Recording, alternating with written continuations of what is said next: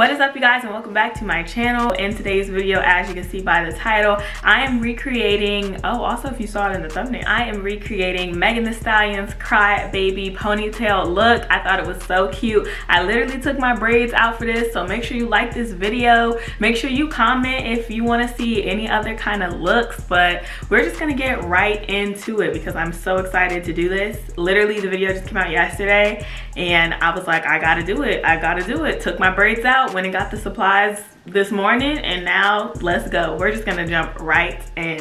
So I'm actually gonna start with the hair. My hair looks really janky right now. Like I said, I took out braids yesterday.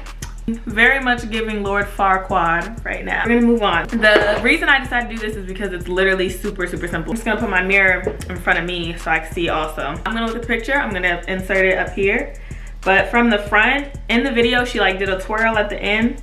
So I could see that the back is like zigzag. And then the front, the part like this, and then it zigzags in the back. Or it might be zigzagged at the top.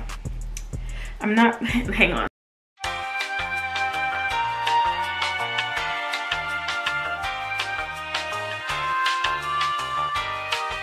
Probably wanna wear my hoodie. So it actually is like a little, it's like a line, it's like big zigzag. What Megan doesn't have here is a widow's peak and I do have one. So I'm gonna have to finesse that. I think I'm gonna just try to part like next to it. So I'm gonna just try to part next to this.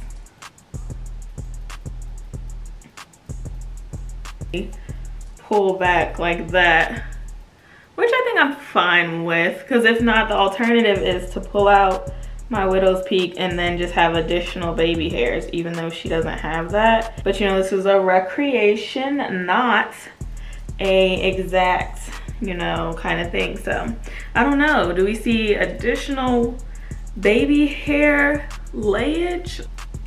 You know what? I just I'm just gonna focus. You guys can just watch. I'm gonna see what I'm about to do because I, I look crazy. So I don't wanna look crazy for too long.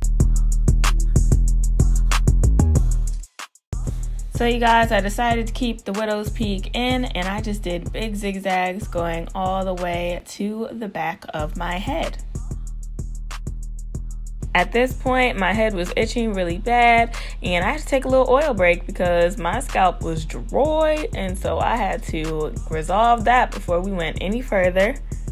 I ended up using the mirror that was meant for decoration to actually just make sure my parting was right in the back because I was like, oh no, it's got to be perfect. So once I did that, I was ready to lay my hair down. So I used my favorite gel, which is the Eco Styler Crystal Gel.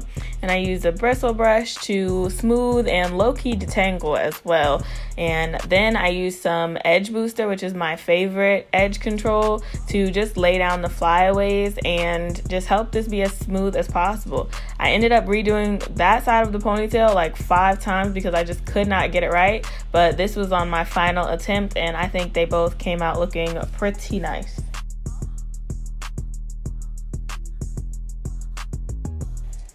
I would say if you want this hairstyle to last longer, like get a nice quality of braiding hair, but I just knew this was going to be in for like two days.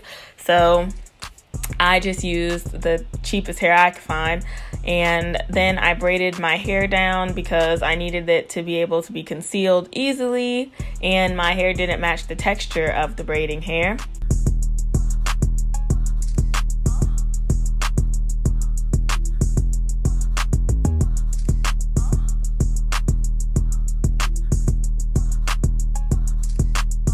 I left this regular speed because I wanted you guys to see the technique of like how I actually attached the ponytails. And I will actually leave the video that I learned this technique from in the description box because that video is literally amazing and I've used this um, technique for all of the ponytails that I've done since because it just makes so much sense. It makes your hair look so realistic. Like, do you see how it looks like it's growing out of that ponytail holder?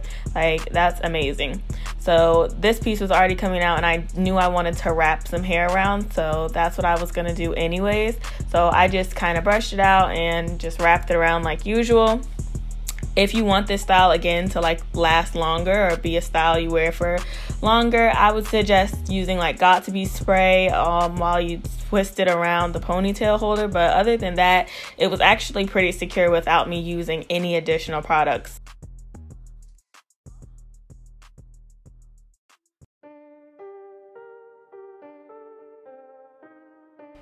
at this point, I was feeling myself. I was like, girl, you just body that looks so nice. And then, of course, the Lord humbles you because this side was giving me problems. The braid had come a loose and it wasn't blending in between the hair like the other side. And I was like, Lord, I'm so sorry for being so vain. and so I was like, okay, I can still make it work though. So I did, I finessed it and it was looking right.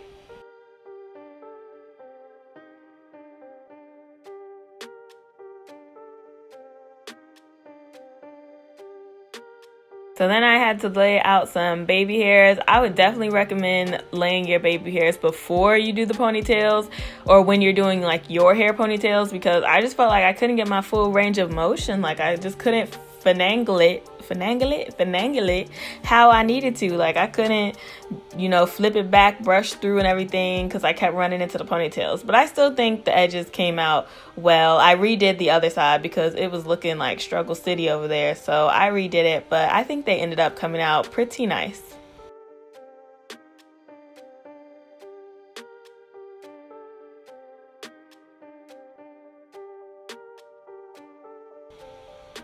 Seal all this in, I went ahead and sprayed some spray on there just to hold down the edges, catch any flyaways, everything like that, secure it.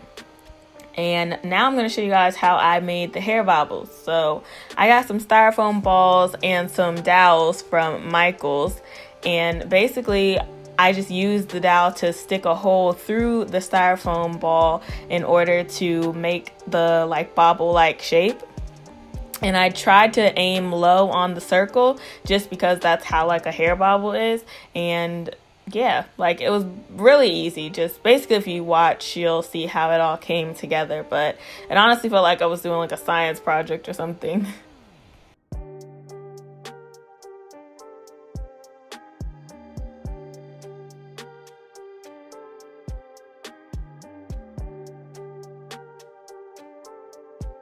Once I finished all of the balls, putting the holes through, I went outside to spray paint them blue. And so this was easy to do, but I did a lot of the painting outside and then I moved in to do like a final coat. It was kind of windy out there, which is why I couldn't record long out there anyways. So I just kind of did a last final coat on the inside just to make sure everything was together. And then once they were dry, it only took like 30 minutes for them to be dry. I took some ribbon in order to actually make it be able to tie to my hair and I looped it through and yeah, basically just tied it on afterwards. I don't show you guys that process, but that's really what I did to tie them onto my hair later on.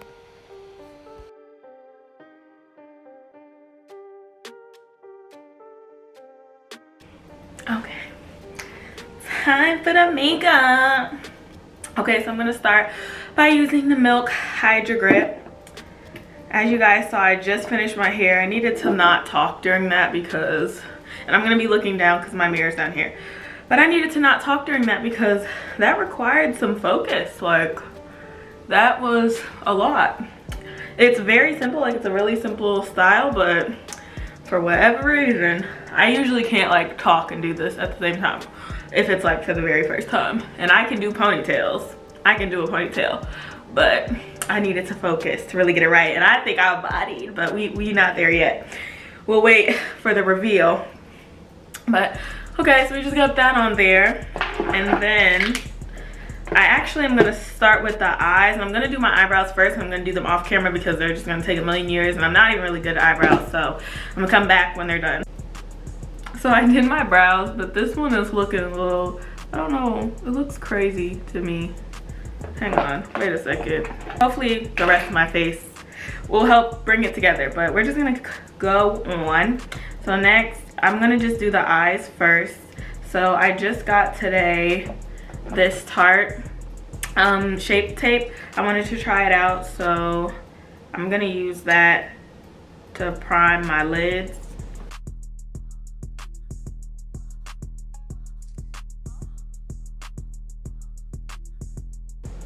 And I had forgot to put my contacts in y'all, so that was gonna be a mistake.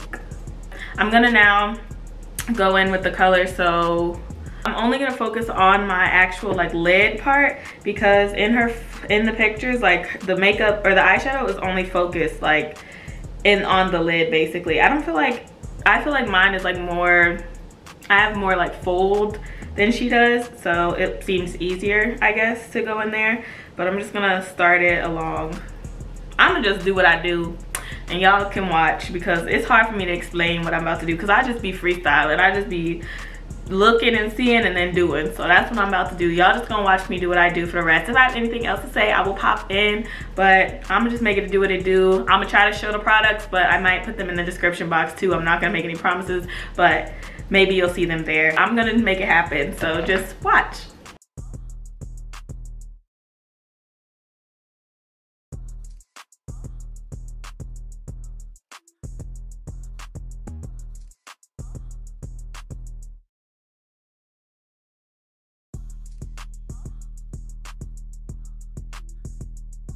I just wanted to pop in and say, yes, I am using the same brush for applying every color, and that winging this out was like the worst decision I could have made. I wish now I would have committed to the wing because that would have probably made this easier, but I was like, no, hers isn't winged, so I end up trying to fix it and resolve it, which you'll see later, but it still comes out looking okay, but you'll see later. And I also am so angry that I forgot to put the shimmer in the inner eye corner. Like, what? Like, that was a key thing. And it's so crazy because I use the palette that I have to as a mirror. So I'm looking at the palette this whole time. Like, I'm literally looking into this palette for this entire process and I still forgot to put the inner corner highlight on. So I'm so upset with myself. I can't even.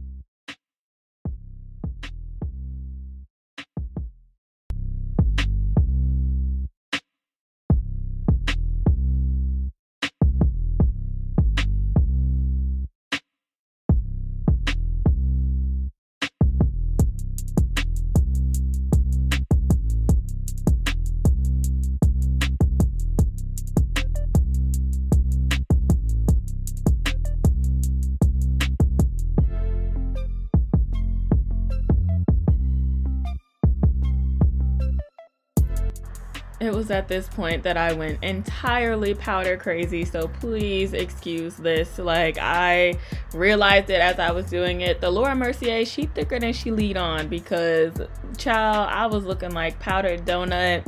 I knew I could bring it back again, so I wasn't too pressed, but just ignore this. This is this is a lot. This is a this is a mess.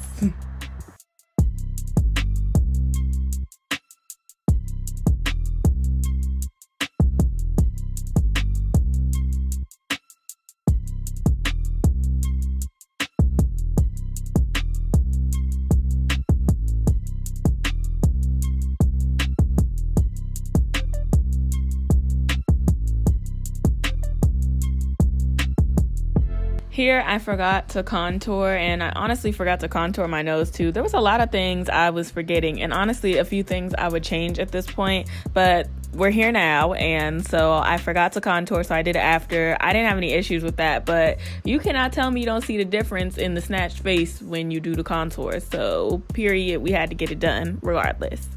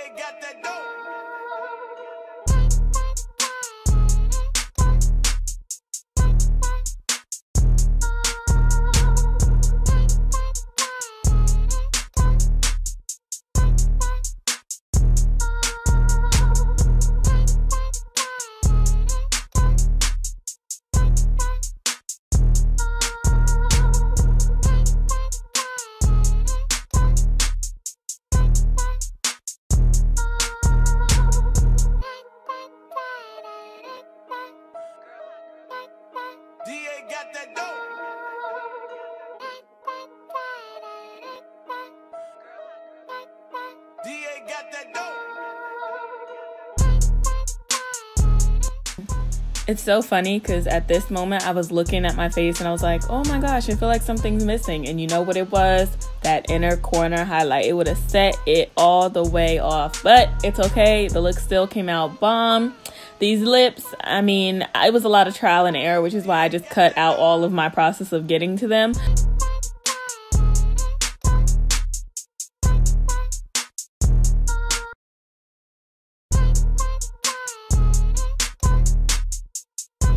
but I'm really happy with how this look came out. If you enjoyed this video, please give it a thumbs up and also ch- go to my Instagram and check out the reel that I did because I did that first and I got like a lot of positive response on that. So thank you guys so much for watching and I will see you in the next video.